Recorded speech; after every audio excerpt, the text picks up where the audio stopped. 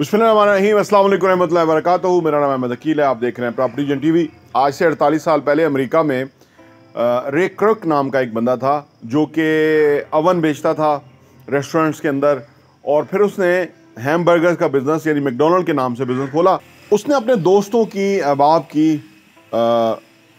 दावत की, फैमिली की, और उसके अंदर उसने पूछा उनसे कि आप क्या समझते हैं कि आजकल मेरा बिज़नेस क्या है? तो तब तक वो मैकडोनल्ड बना चुका था। तो सबने कहा कि आपका हैमबर्गर्स बेचने का बिज़नेस है। उसने कहा, ऐसा नहीं है। उसने क्या कहा? इस वीडियो में आपको बताते हैं।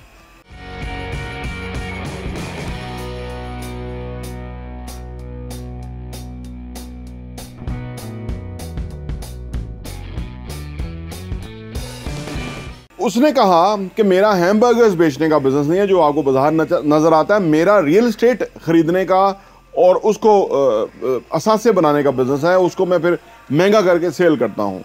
उसने कहा कि जो लोग मेरे फ्रेंचाइजी बनते हैं मैं वो उनको बुनियादी तौर पे अ, उनके पैसे से असासे ख़रीद लेता हूँ और उनको मैं फ्रेंचाइज बेच देता हूँ और इससे मैंने बहुत पैसे कमाए हैं।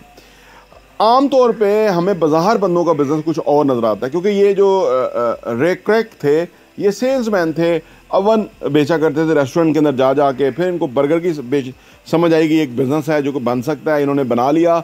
उसके बाद ये सेल्समैन होने के नाते ये मुख्तलिफ़ चीज़ें बेचने की कोशिश करते थे। यानी मुख्तलिफ़ लोकेशंस देखते थे, उसको अपग्रेड करते थे, उसको बेचते थे और फर्दर और वेल्थ जनरेट करते थे।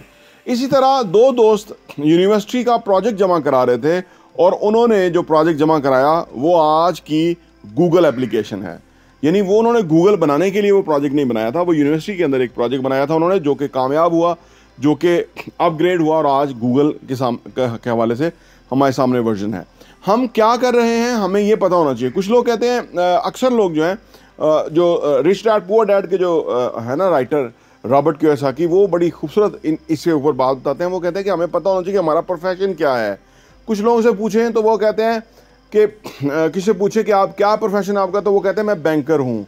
तो वो रॉबर्ट कहते हैं कि जब मैं उनसे पूछता हूँ कि आप बैंक के मालिक हैं, वो कहते हैं, नहीं, मैं मुलाजम हूँ। तो वो कह रहे हैं कि मुलाजम होना, जो आपके जो स्टेटस है, उसको मद्देनज़र रखना चाहिए, आपको अंदाज़ा होना चाहिए।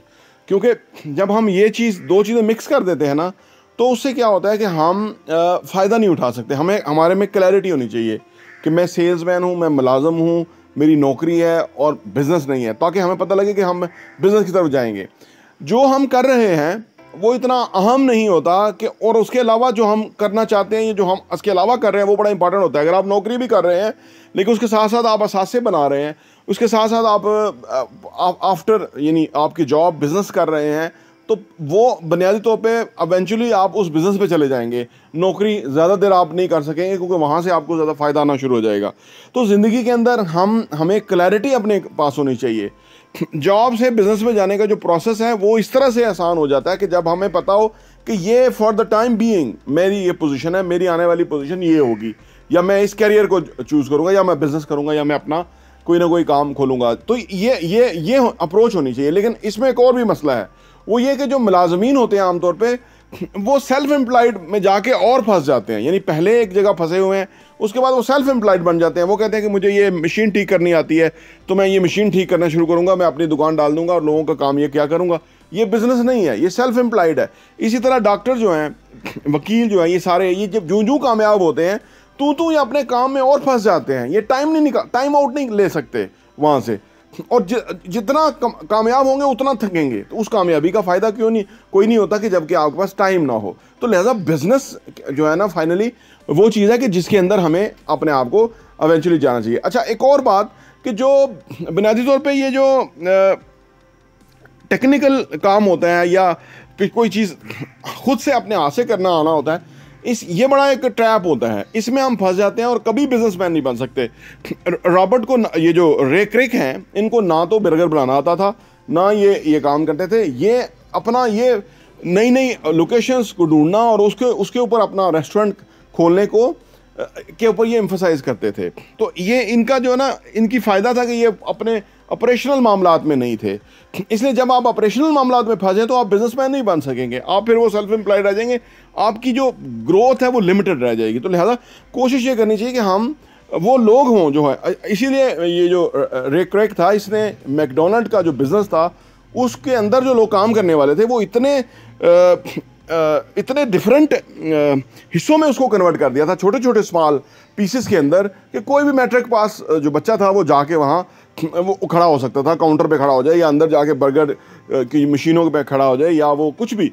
तो वो मैट्रिक पास बंदा एम्प्लॉयमेंट एम्प्लॉय वाला जो है ना वो जो एक ह्यूमर सोर्स है वो मैट्रिक पास भी चल जाता है।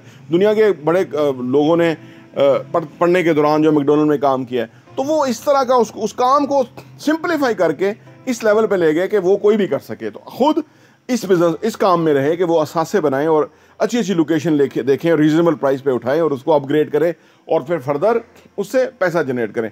तो लिहाजा ये है कि हमें अपने आप को क्लैरिटी अपने अंदर रखनी चाहिए कि हम इस चीज़, ये वाला काम करेंगे। यानी इस, किस काम में हमारी एक्सपोनेंशियल ग्रोथ हो सकती है, उसके तरफ़ हमें जाना चाहिए।